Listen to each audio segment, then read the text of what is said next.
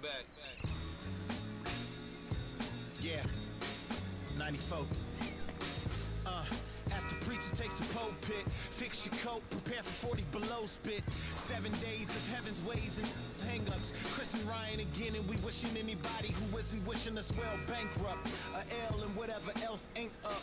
As far as me, I'm still caught up in all the. Still calling my expendables, cause it's hard to believe I can fit all of them boys in one. And the streets start trembling. It's way too many it seems. Too many witnesses. Up and down with their visions of what a street is. I call it the seesaw syndrome. Syndrome, maybe you make a mistake, you lose. And this is for the real hip hop. So would never, ever, ever ask me, am I here to replace Guru? Word, that's how you feel up on this track? Little try on that. What you trying to rap now? Royce. What up, man? we just lamping in the studio, you know, doing our thing. Okay. Bugging out, you know.